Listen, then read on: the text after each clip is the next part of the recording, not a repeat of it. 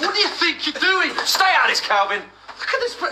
How dare you come into my home? Who do you think you are?